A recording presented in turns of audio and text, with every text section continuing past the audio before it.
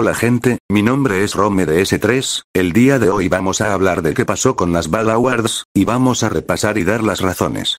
Bueno, todo comenzó en fines de diciembre del 2023, estando en mi humilde casa dije, ¿por qué no hago mis propias awards? Ya que había escuchado que Konosur se iba a retrasar con sus Country Awards, entonces aproveché, y yo en ese momento no entendía muy bien que era una award, entonces miré varias veces las Country Awards 2023, pero no entendí muy bien, pero no me importó y decidí hacer un tipo torneo, a medio de votaciones.